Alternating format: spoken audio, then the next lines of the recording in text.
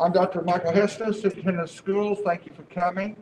Uh, We will be recording our uh, town hall meeting to discuss the bond restructure with no tax increase uh, vote that we're going to have on uh, February the 8th, and also early voting the week before.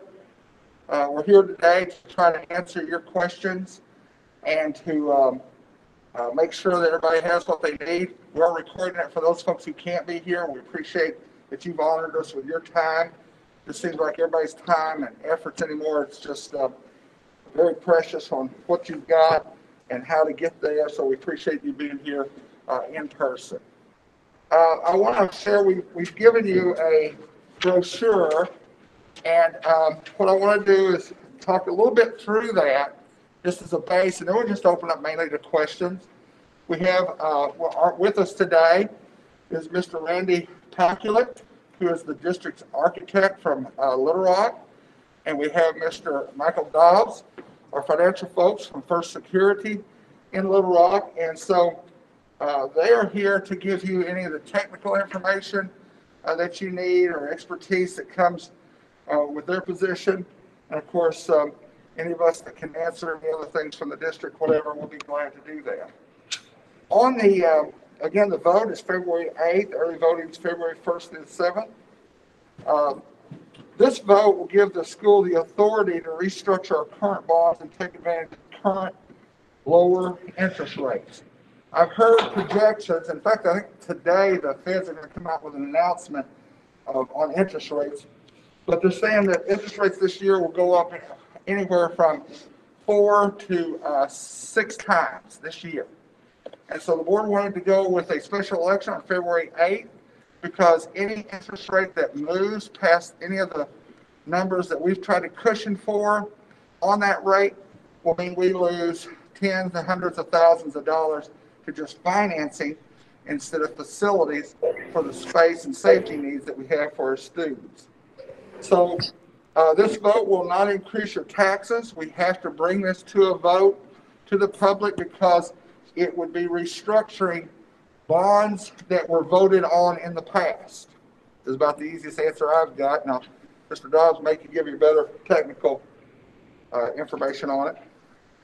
For those of you who uh, don't understand a lot of the financial things, and I know we've got some folks in here with some real good financial background as well, this is like um, refinancing your home and taking the difference in the uh, your mortgage rate or your uh, equity you've got in your home and remodeling your home. So that's the concept here is to restructure these loans, take that, what we can gain from that, add it to some of our partnership money, and then build the project that we can come up with at this time. Um, why do we need this? Um, the state of Arkansas has deemed Batesville School Districts out of space and needs to expand. And, uh, for this reason, uh, we were awarded over 5 million in state funds towards a new auditorium and classrooms. If this money does ha- have a time limit on it, if we don't use it, uh, we'll lose it. Uh, restructuring the current bonds will give the district, uh, the required match to complete the expansion. And, uh, we also received three point five million, and this is new, this probably never happened before, in what's called ESSER money or COVID money.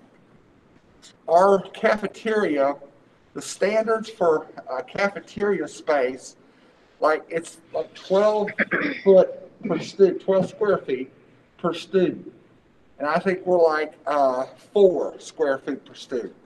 So what happened is, when you're below those standards, in other words, we're out of space. We don't have space for uh, kids to eat. And, and so we have to start our lunch periods real, real early and late to get everybody in. So what happened is, is with social distancing, and then what makes this worse is we're, when we feed kids, we're supposed to keep uh, three to six foot between each kid instead of just side by side packed in. So that's created another hardship. And so what happens is this COVID money, we're eligible for it because this creating a cafeteria and kitchen space will create more space for our kids to be able to eat uh, breakfast and lunch. And uh, right now, we don't, we cannot feed breakfast to junior high kids because the space, we can't get the high school and junior high in that fast early in the morning.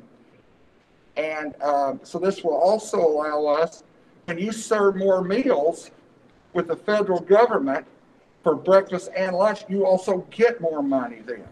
So this also allows a revenue stream to that when we're feeding kids, that we get more money to feed our community and take care of things. So this ESSER money is what I call social distance money.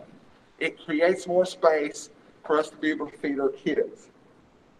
And then the district um, was, was going to add two million from our district fund because uh, what we got drawn up is still short from what we need to do. And um, we saved uh, some money and we put that towards it. And part of the sort of the equity we built up from uh, paying off indebtedness and then restructuring here, there's about 14.310 million uh, that we're trying to gain from this move. You throw in the partnership money from the state and the ESSER money and the district money, and that puts us about trying to come somewhere around 25 million to get to this project. Um, we've, we've shown a picture. This is our best artist picture that we have in the corner. And you see it is a kitchen, cafeteria, auditorium, and then most of that is fine arts classrooms, but it's also like um, our architect here is helping us. And this has been like putting two puzzles together and trying to come up with one picture. We're trying to capture all the money. In our previous project, we had this stuff spread out where it needed to be. Now we're trying to find out, okay, what will they pay for and what can we grab and how can we put it under one roof and get all the money? So while we say fine arts there, there's a family and consumer science, which is what you used to know as home ec. There's some other classrooms like social studies and stuff like that. We're trying to capture them and put them all under that one roof. Anything that would be partnership money. And so uh, it's been a very complicated uh, thing. And we've had to meet with the state several occasions to make sure that what we were thinking would work out because we will not be able to capture all the money that, uh, that we uh, were allotted. Because some of it was elementary schools and things like that, and this project will be at the secondary. And the reason we get two for one on our money. When we create more classrooms on the hill with junior high and high school, the high school can move into these or share it with the junior high. And when the high school moves out of what they've got to this, then the junior high could fill the classrooms that we left uh, for them space. So we actually get, we create two spaces for one by doing this project on the hill. So as you can see, we're trying to maximize everything we can get. Uh, our last vote went down three to one. The voters said, we don't want a tax increase. We heard that. And so this is the project that we can do without raising uh, your taxes. All right. Um, I'm gonna, do you gentlemen, do any of you want to say anything or are you ready to just open it up to questions? Uh, I think you pretty well covered uh, what I have to say as far as you know restructuring and that sort of stuff. How that how that kind of conceptually works. So I really don't have anything to add. Okay. And, um, and Mr. Dobbs has official numbers on all the banking and all that. And I, I know, uh, Mr. Grant's a CPA guy. And so all, if you need more numbers and deep numbers, he's got that. Randy, is there anything you'd like to say about the project, how we're trying to find the money and what this represents? The only thing I would add is that, um, at this point, the school district's proven to the state that they're deficient in space. So the state has decided to partnership with those spaces. But now that you've proven that, the school district is gonna have to find a way to get those spaces, one way or another. So if it, if it's not through this one, you'll have to come up with a new plan, because now that you've proven that you need those spaces, the state's gonna require that you. Get it those. done. Yes, one way or another, so. Yeah. It's, it's, it's more than just losing the money. Um, it's, it's also gonna, it's gonna have to happen or else the state will take other actions, so. Yeah, there, there's other actions that we would rather not, they're more threatening. Uh, they, they result in either get it done or they replace the superintendent, the school board and, and move in and, and do some things. But, uh, we're, we're trying not to go there. We think that by appealing to our community, listening to our voters, that, uh, this is a reasonable plan and this starts us on our way to getting what we need done. This does not accomplish what we needed done in, uh, our elementaries or uh, half of what we needed done at the junior high.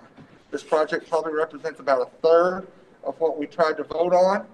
And so um, this starts with, again, trying to capture all the grant money, the refinance money, the COVID ESSER grant money that's out there right now, and what we can contribute from our savings. Um, While, while we're glad to offer that, one of the, one of the disadvantages of not having this taken care of in a bond issue is this, the district will spend more money on our capital outlay on our fiscal plan. And that's when you lose money to keep up with salaries. So that's usually what- when you're a growing district, you spend a lot of money in your facilities and they usually don't have money for their staff and salaries. And you know the pressure we have right now in salaries, in shortages of teachers. Uh, the workforce has either got money and don't want to work or want to work for higher wages. So it puts pressure then on the district that if the community doesn't step up and help us on these kind of issues, our budget to fill the, the facilities, then there's nothing there to keep up with our workforce and the quality of our workforce. So that's the pressures that we have as the business side of the district. What the board has to look at is keeping up with facility needs and with your personnel, keeping up on salaries and quality for the community as well. All right, questions from you. What can we answer for you? Yes, sir. How many classrooms? That's, uh, I know you designated there were some associated with uh, fine arts and social studies, whatever. How many classrooms is this gonna add? Well, we're, we're When working, it's all when it's all said and done. Randy, you got an idea? I'm, I'm going through in my head right now. So, Well, we're trying to also find, we're also doing creative, like, can we use like the art room and the home ec room as the same room? That's what he's trying to figure out for us on the grant money. But I think there's at least, there's at least a dozen classrooms in here. And they'll be multi-use, so yeah, somewhere around a dozen, uh, learning spaces. Yeah.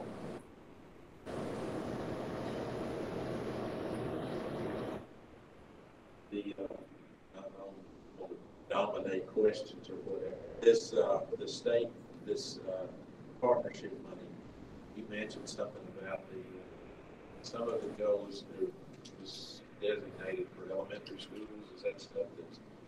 Th- This money that we're trying to capture now was for the, the Hill campus. Yeah. There was other monies that were, that were approved for other campuses, but, um, until the school can build those sites, they won't be able to capture that. And that does have a time limit, so it's, Okay. it's possible that that could be captured later, once this project's Yeah. done, but. Nathan, it I was, just didn't understand. it was, Nathan, it was six hundred and fifty thousand on Eagle and three point five million for West, but because those aren't in this project, what is that, four, one five? Four point one five, we cannot, uh, that was added to this five point three, we are not eligible for. And on the, I was trying to think on those classrooms, we've got four classroom, we had, well, three classrooms are art.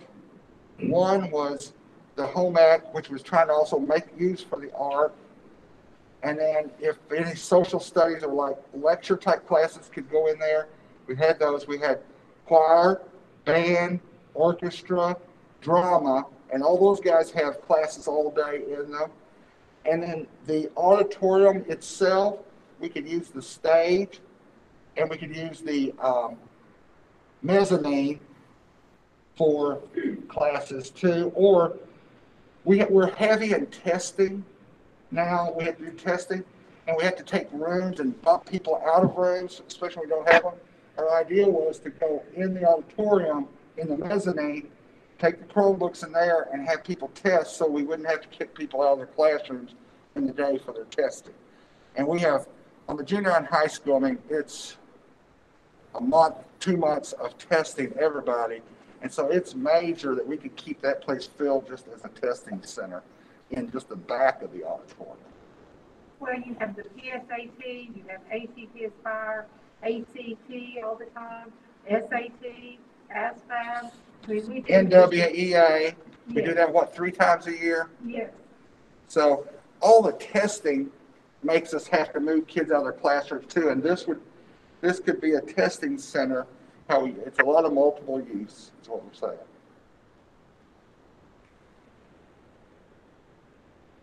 Good questions, thank you. And then the most expensive part of this project, and maybe Randy could speak to this, uh, since, uh, April of 2020, we postponed the vote. Uh, cost of construction since that time has gone up at least a hundred dollars a square foot. Now, a lot of that's been the COVID and all the stuff that we all experienced. But what we're about to hit now is interest rates are going to go up. And what happens is the more those things happen, the less we get for our money for classroom and spaces. Randy, can you speak to um, the cost of this kitchen and how why this? I don't know if you remember how much it was before now. Talk about it's amazing how much this costs a commercial kitchen that goes with the cafeteria. Would you speak to that? Yeah, um, that's one of the more expensive spaces, but it's also a valuable space because the, um, the ESSER money's tied to that, and then also the state partnership money is tied. So the kitchen and dining is where the school gets the most bang for the buck as far as getting other grant money. Uh, but in, in doing budget estimates, we're looking, just from a year ago, the numbers we had, we're, we're looking at a hundred dollars a square foot more. So, um, now, we hope some of that will come back down, but it seems that construction prices, they go up, but they don't ever come back down as far as they were before. So, This, well, you know, uh, lumber prices are here and they drop it. That might come back. Is that, is that kind of what you're basing some of that on? we're, It's- we're it's- hoping that, we've seen a three hundred percent increase in steel, for, example, just from last spring. So, I mean, I can't imagine it staying that high, Yeah. but at the same time, you know, we're, in our profession, we're constantly having to switch back and forth. Just to give you an anecdote, we had a, a fire station we designed that was pre-engineered, pre-engineered metal building that we had to change to glue laminated wood because wood, glue laminated turned out to be cheaper than steel, which is just upside down from what we're used to. But, um, yeah, so we're, we're working through that and trying to make sure that, we'll make sure that whatever we have on paper is within the budget. Um, but we don't want to have to keep chipping away at it. We want to get the most that we can. Well, and this this cafeteria, kitchen, and auditorium, that's also big steel, Right. big beams, big steel, and that's top dollar right now. It's a on the gym and the new facility, uh, I take it that the gym, we're gonna take full advantage of this where, uh, this gives us an opportunity to compete for state tournaments, regional tournaments. Well, there is not a gym in this project. Oh, I thought that was gonna be part of it. No, no, we had to cut the gym out. The gym, um, the gym was the part, kind of that little L there where that yellow line's at, that little L there, that's where the gym was. We had to cut the gym out of this project. The gym component didn't have any, uh, state partnerships associated. Yeah.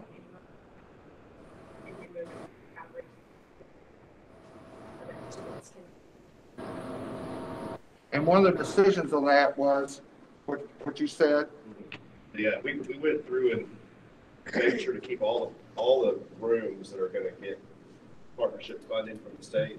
So we've got those isolated and the gym component just didn't have any money, that was, any grant money coming from that. So It'll be in the future.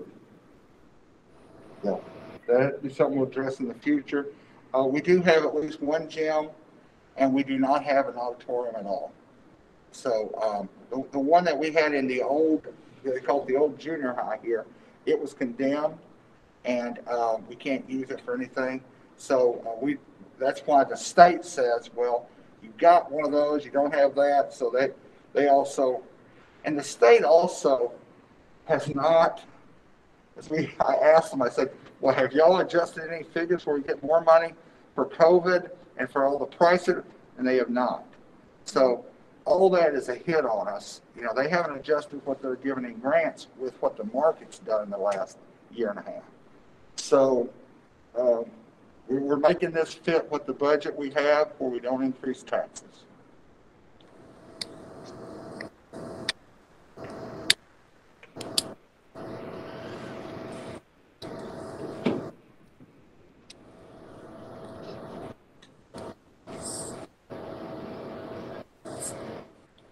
Our, our, a lot of people ask, you okay, on the fine arts, we have over six hundred kids just in, um, that's probably high school and junior high that are fine arts. Uh, a lot of people say, well, what, what's in that? We have, we have twice the amount of kids in fine arts than we do in sports. Uh, because, you know, you take your bands and your choirs and drama and, uh, debate and all those Orchestra. things. There's massive numbers.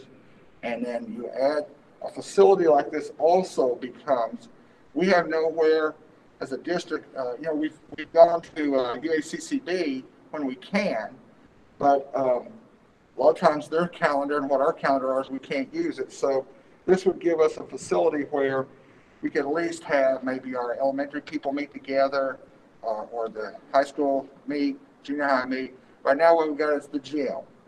And, uh, again, we have to interrupt PE classes, or like we just refinished the floor for, I think thirty thousand is what it cost us to refinish that floor. When we have assemblies and everybody's walking on it, it just, it can undo it in a year, and then you're spending thirty thousand on it a year just to refinish the floor from the damage of everybody walking on it and all. So this will give us some of the big assembly, big meeting spaces that we don't have as well.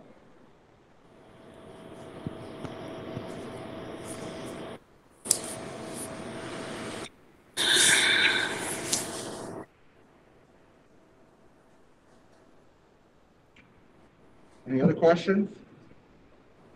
Guys, any other questions? Yes, sir. I guess, one of, I mean, I guess a couple questions. I know one thing concerned about was brought out when we were trying to get the tax, uh, when we were voting on the tax. There's a lot, and I understand it's not in this project, um, but I've not really heard this spoken to. There were some things brought out when we were trying to get the tax and the other campuses and stuff. For example, uh, we were told that West Elementary has wiring from the 1930s. Uh, for one, that seems to should have been done, taken care of like 30 years ago. Um, but that concern, if we got things like that, um, I know we're not asking for a tax raise in this, but we got money going out for this. Uh, if we re- restructure the bonds and we got all this money going out, uh, this other stuff still needs to be addressed. Um, and then you got, I mean, I guess where does it all end? I know there's a question from other people. Uh, what I, I work with, my regular job, I speak to a lot of people out and out, uh, in the field. And, and the question is, you know, where does this, is it seems like there's, I mean, I'm not against having an auditorium, that's, that's great. But things in the past that should have been dealt with that weren't. Um, and we're trying to go on to get an auditorium, well, that's great, but what about all this other stuff? And, uh, it, it just doesn't, it seems like there's a, you know, it's kind of like if I, if my house, if I have word that I got a problem with my house, that it could go up in flames, uh, tomorrow. And it's, and I have an option, either I fix this and deal with this before I do anything else, or build a pool in my backyard. The pool's great, but would I not fix my house that's about to go up in flames first? And, and I know you're, I mean, probably your response is, we're gonna, you know, taxes, uh, for that. But we do have this money going out, and if this bond is restructured, we're asking for more money.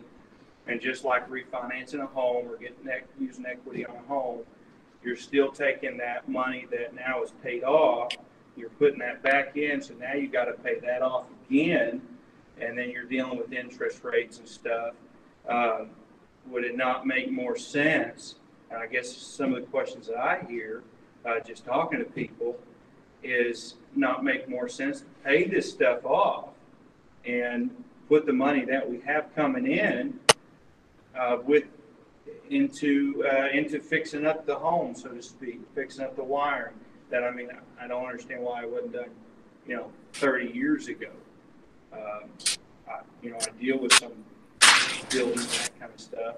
Um, and, and it seems like a lot of times, and I know it's, it's not just the tax increase that we voted down, but it's the way things were brought about and some of the misinformation that was put out there, even to our students, and some things that were promised we're going to get if we pass this tax.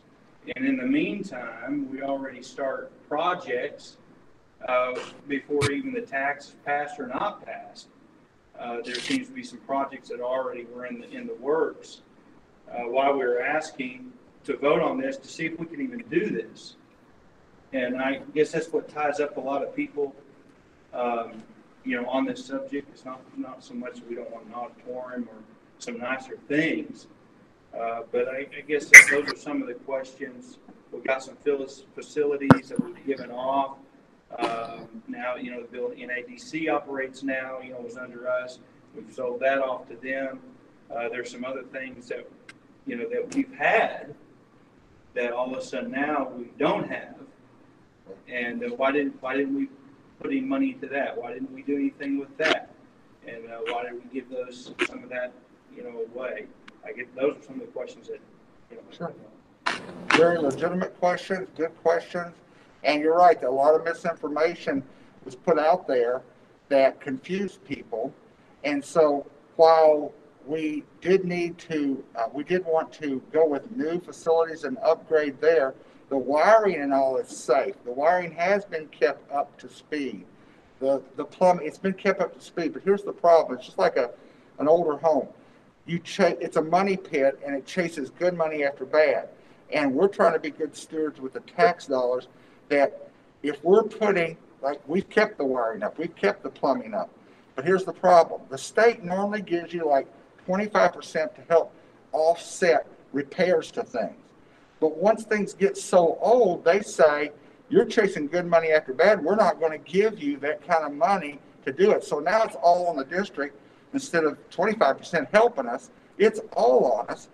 And so like right now, uh, if we replace the roof at West, it's gonna be at least, uh, just the shingle part is a half a million. And you still have the issues that we showed everybody, the wooden floor structure, the ventilation issues underneath the building, the efficiency issues on the windows and that type of mortar that they've got, it's just old. And it's costing us more money and inefficiencies, and we're chasing good money after bad. We've kept them up. Uh, so that, uh, you know, that, when that image gets out there, that's not what we wanted. They try to talk about, look, we're trying to do, trying to follow good money, not throwing uh, money away and um, being a money pit because it's such a remodel job. And then when it comes to the efficiency, uh, when I got here, we, we had a strategic plan with the board on, uh, we were strapped for cash. We couldn't give our teachers raises because they were strapped with our footprint. We had, um, we had uh, all these campuses that we'd inherited over the years. And so our footprint was crazy. And then we couldn't get people to even want to, like, to create a solution to Cushman, to get people to even want their kids to be bused out there and bused back. Uh, we'd lose kids. They'd just go to another district instead of doing that, being on the bus all the time. Uh, the preschool that you mentioned. the millions it would have taken to fix it was good money after bad for what the standards we had to have too. And it was in the middle of a draining ditch and we were constantly having flooding through the, through the, um, floors through there with rains and everything. And the damage and what it was, it was, we had to get, getting rid of that was awesome for us on our deals. We created money then for our teachers and we went from worst to first in the area for paying our teachers and being able to keep good teachers around kids is how you keep kids in your district. So we're trying to balance efficiency, and then we found partnerships, people who work with us to create money for us.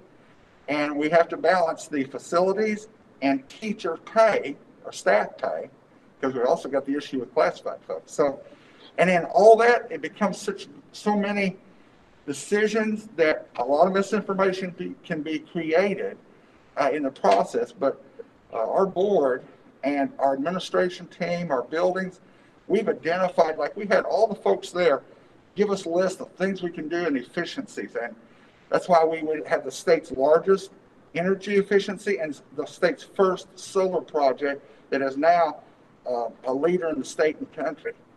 And so we created money, we saved money. Oh, we went through all our LEDs, we went through all of our plumbing, we replaced energy efficient HVACs.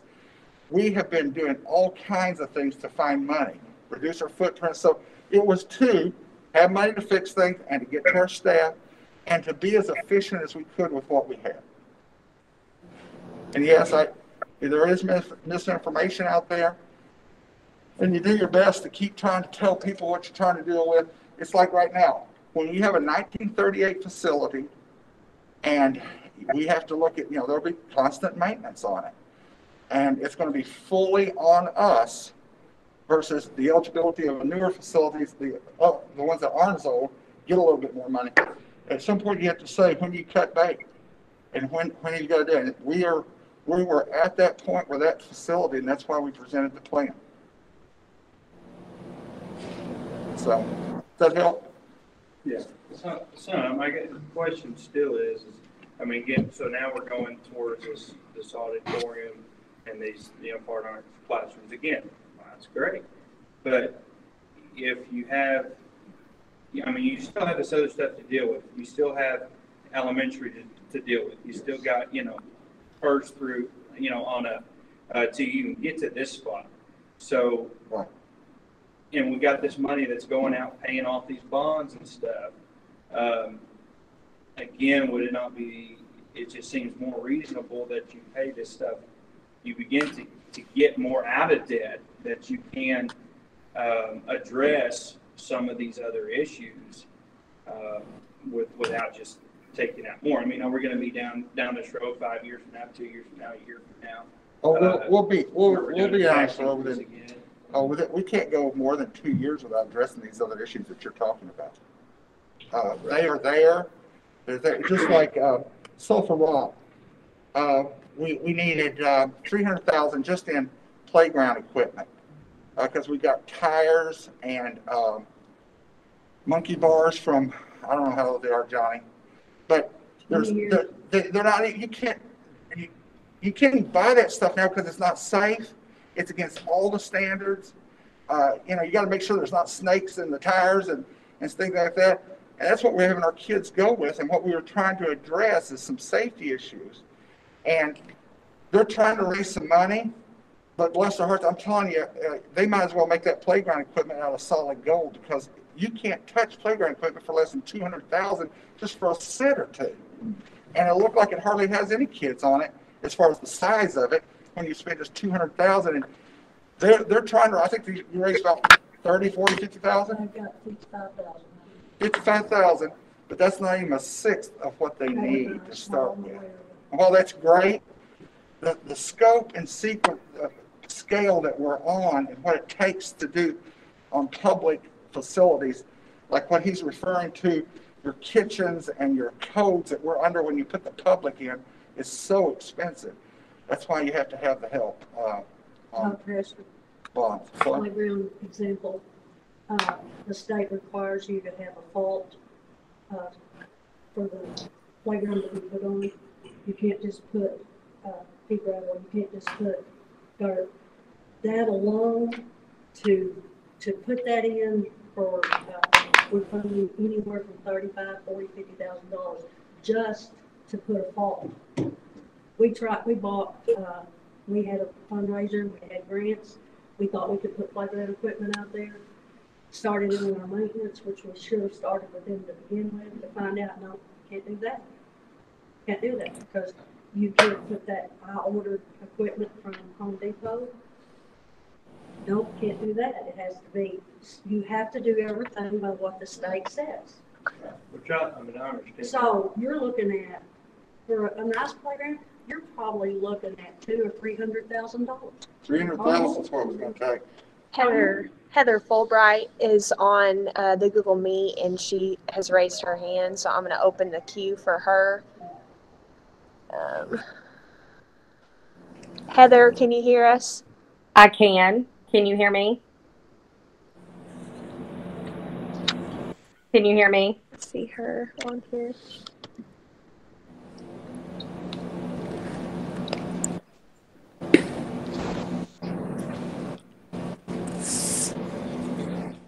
Let me see here. She's trying to get a question in. Yeah, Can she text it or? yeah. I'll see if she wants to text So, it. Mr. Also, I think there's parents that have contacted me uh-huh. that are interested in trying to raise money for this arena and maybe get some sponsorships and donations. And I know there's a lot of of parents that are out there working toward trying to help the district get some of this money. And, you know, we have some wonderful partners, but the problem is that it overwhelms it. And that's why we brought it to the community, because this is such a large scale of the needs. We have, we identified, we, we called it a community engagement process. We started with the teachers and had them tell us what all they needed at each campus.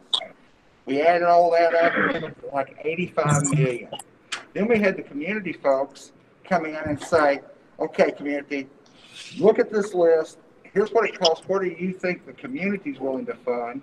And that's how we got down to like forty-nine million, is what, that was the stretch that they thought we could go.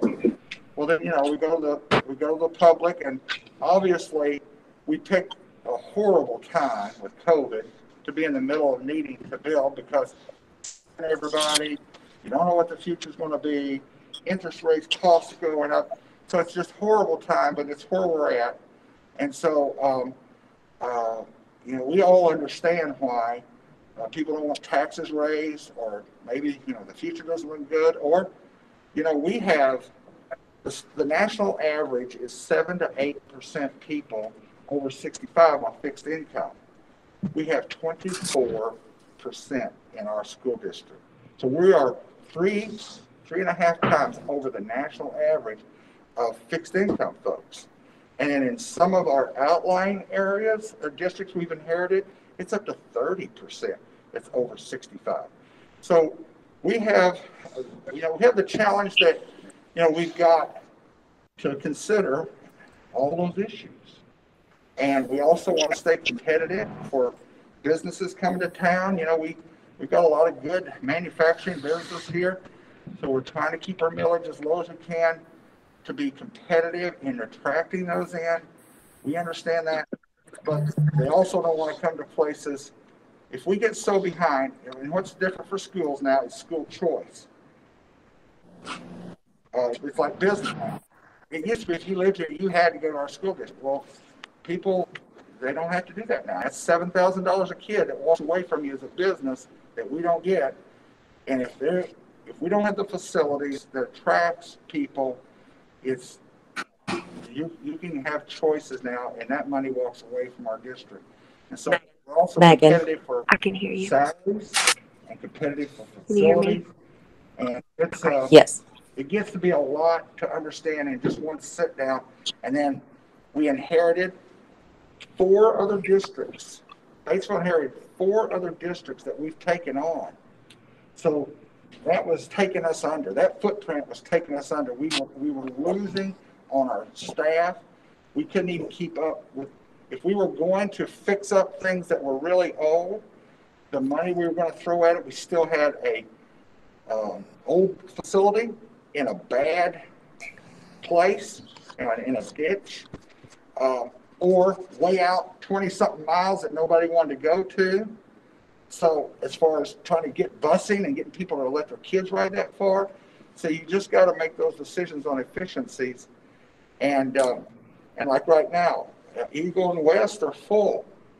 And when we tell people we've got maybe hundred seats out at Sulphur Rock to fill, when we tell them we're going to ship their kids out there, that if they go to school here, that's where they got to go. Well, they, it might be, again, they got school choice. And we, we would maybe lose money because we're trying to fill every little seat that's left out there, but it's going to mean their kids got to ride buses or there's a lot of parents, it's a real hardship. They can't go out there with their transportation and all to get out there to all the activities and things. So it's a real hardship on them. So those are all on our plate and uh, what's involved.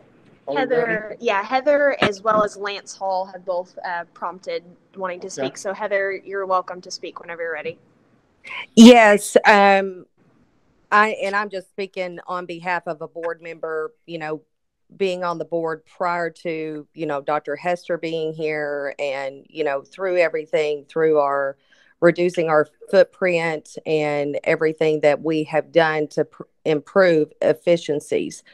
But the main thing that I want to ensure that everyone knows is the state is requiring us square footage to house our kids and to educate our kids on the hill at our secondary campus. Our junior high, we do not have enough room available currently for education or, you know, to house them by the state standards. In addition to that, only having one cafeteria for half of our student population of the district, um, the state has also said, you know, we do not have enough room. So, with the state puts that requirements on us, we had to go back to the drawing board and look how can we get that room available the easiest way. And that i mean and that is the reason that we chose the performing arts. Not only do we get matching money for adding the classrooms and also adding the cafeteria and all of those things with adding the performing arts versus other campuses we also in addition to that we get monies for having a performing arts facility since we currently do not have that. And we meet the state standards at the same time. And looking at west campus because um, that's a campus that you know i know needs a lot of improvements and everything else we have been situations in the past when we start digging into fixing things whether it's you know be wiring as someone mentioned or flooring or those type of things under the state's requirements we have to bring those things up to code. And a lot of times bringing buildings classrooms flooring other things up to code is you know double or triple the amount of tearing it down and building new and so that was the reason for the plan at West Elementary of tearing off that old part. The state will not give us any matching funds. And if we touch anything in that building, in that old part, we have to bring it up to code. And the cost to bring it up to code would be, I don't know the exact amount, but it, it, it is way more costly than tearing it down and building new. So that was the decision for adding the auditorium versus some of these other things that are on our list. Um, over the years, you know, I've seen that we have gained more money and efficiencies than we ever have. Also, we've been able over the last four years to give at least a 3% raise to our teachers across the board, which has not ever been done. Um, and we continue, you know, to strive to ensure that we are staying competitive in that. So that was just a couple of things I wanted to point out. Thank you, Director Fulbright. Lance Hall, would you like to chime in? Yes, can you hear me? Yes, sir. Okay. I think Heather touched on it there at the beginning of her response regarding the gentleman's question. I just wanted to um, clarify and maybe add to that question. I think his question is more of, you know, why the board chose to go with the route of the Fine Arts Center versus improvements at West, or, you know, as Dr. Hester talked about, campuses that are running out of space. And Heather talked about the logistics of how we're driven by the state and um, and how those decisions are made by the board and and um, and those um, people involved in those decisions. So if Dr. Hester or someone would talk about the logistics of why they have chosen a fine arts center versus putting that money or um, bond um, money back into uh, versus back into the classroom. So I think that may be what he was he was wanting addressed. That- Thank you, Mr. Hall. Again, on, uh, if we would have gone with the plan for West, let's just take that one. Um, you have to do what we talked about, tearing that down to build it, to create, and then to create those classrooms, we, we would then have been eligible for three point five million. You're not eligible for, um, you know, like your example, the wiring, plumbing. What happens is, is when you, when you go, but when we go after that wiring, when we go through a wall that's got old plaster on it, then that wall becomes an issue. Now we got to fix that wall. It's not just the wiring. It becomes two or three other things. Or you lift the floor up to, to do something here, and then a truss gives way underneath. And so it's just one thing goes to another on those older buildings. That's where we're at. And so there literally was not money that that 3.5 was not there unless we created, tore that down and created the need for that many classrooms to come back again. So the, that kind of maintenance there will just have to be out of our regular operating budget that uh, referring to. And we do, they, they keep that stuff up. It's clean, it's nice. But, you know, again, uh, the floors, I mean, the ventilate, that was built in the day where they didn't have air conditioning. The floors have about a three or four foot clearance. They used to have windows where you open up the top so that you could let the hot air out and the cool air would come under, underneath the floor and up. And of course, you know, uh, that now that we had to seal all that up, do air and all that. And so it's just a matter of it's chasing good money after bad. It didn't fit the formulas the state give us to have to create that money. And um, so this plan we got maximizes uh, the most grant and the biggest way we could do it without increasing taxes. So I guess the next question would be, so within two years, so what are we looking at to address, um, address those issues? Are we coming up against another tax increase at the end of this year? I mean, Well, we, we I mean, spent, That stuff is still there, the kids are Uh-huh. still going there. They're not all gonna be going, even if this is built in the next couple of years, they're all, you know, first grade's not gonna be attending this, if Right. I understand this correctly. They're not all gonna be coming here, so I mean, you still have, that's still sitting there. right. Well, we didn't wait. Uh, we have modulars that we had to move in this year. We couldn't wait, couldn't afford to wait, couldn't afford to wait, see if we passed or failed on the bond issue. So we moved modulars in to the elementaries and to the junior high. That cost us about half a million. And again, that's a half a million out of the operating funds that we had to do just for classroom space. That's not there for either repairs or for salaries. So we had to address, uh, the classroom issues by bringing in modulars. And that's kind of what, that was the solution this year to try to get to it. As we go, um, wait for a minute. Uh, Lance, is that you on, uh, you, your microphone's on. I don't know if you're trying to get in or not. Somebody's microphone's on. Okay, well, I think it's my wife. Peggy? I didn't say anything. Okay. I just muted it. Well, I saw it when you hit it, so. uh, How am I doing, hon? Okay, uh, what was I saying now? Okay, the five hundred thousand is what we spent this year just on classroom space. And again, those issues of classroom space and safety are not going away. We will have to come back to it. And now here's the good, so here's the good news. We're growing. I mean, we're busting at the seams. That's great news. Batesville's growing. We got jobs. We got people moving in. You can't find a place to rent or to buy anymore. The town is exploding and we're exploding. So it's a good problem to have, but we, we, we had, we wanted to try to take a bigger approach and get it all done maybe at once for a while, but we're going to take it in bite sizes. And so we'll address this issue and then we'll come back. We'll see what the priorities are after that. So are we losing, so for the modulars, the classroom space, is that because state regulation or whatever with the COVID stuff, social distancing, is that? That's because we didn't have enough classrooms for kids.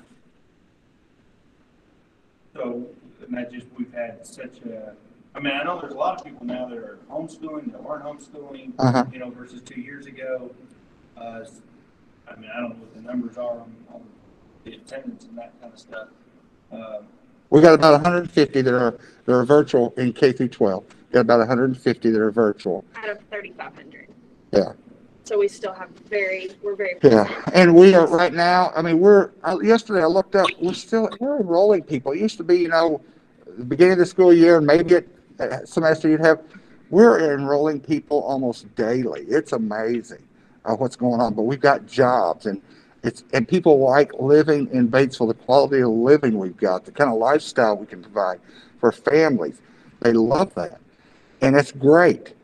Uh, but we're experiencing that too. And so on top of our needs of, you know, updating, we've, we've got growth and that's a very healthy thing. Uh, but we're, you know, we're trying to represent our needs to the community and we're trying to weigh what the community and the voters want to do too.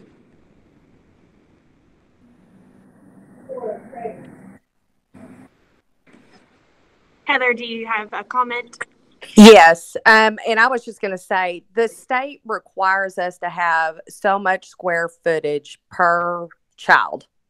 So they go based off of our total student count. Um, and it's very easy to put a classroom of, you know, 20 students at an elementary campus in a modular versus on the hill. We are so far behind on square footage versus student count that that is why we are needing to add so much in that area versus on the elementary campuses.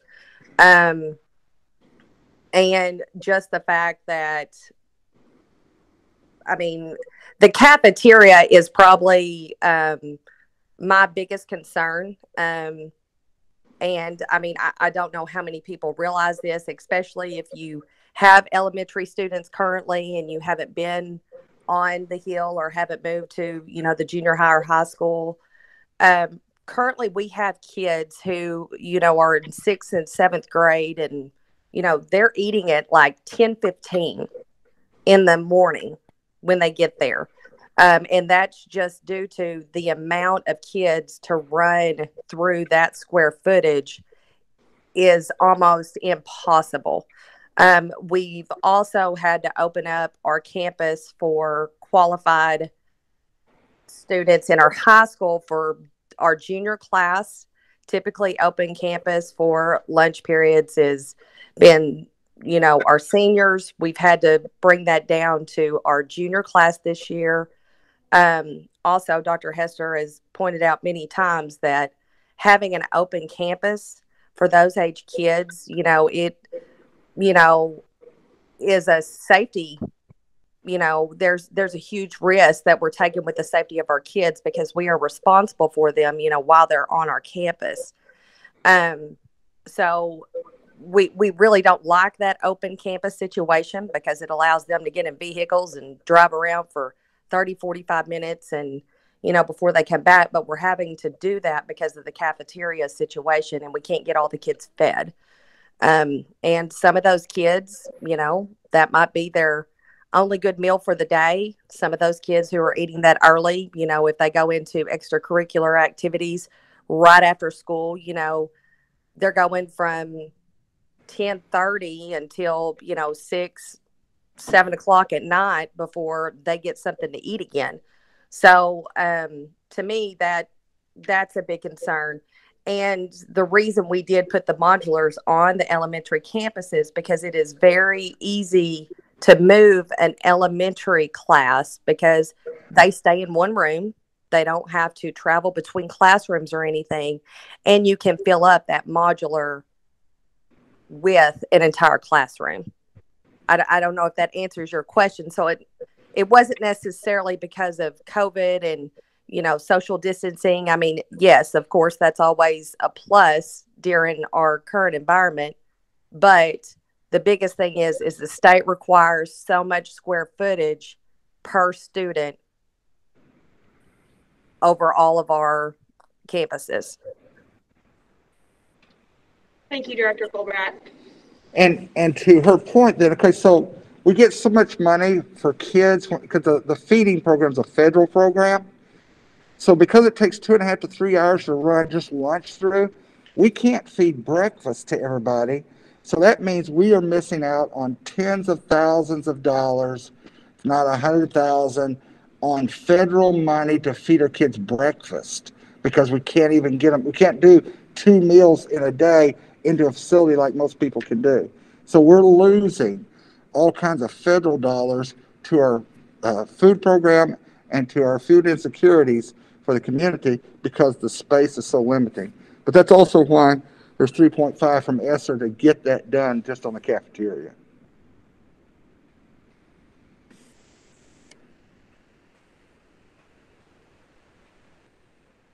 We got a couple minutes. Wow, I thought we'd just be 15 so uh, you guys are good. Anybody else online? Want to say anything?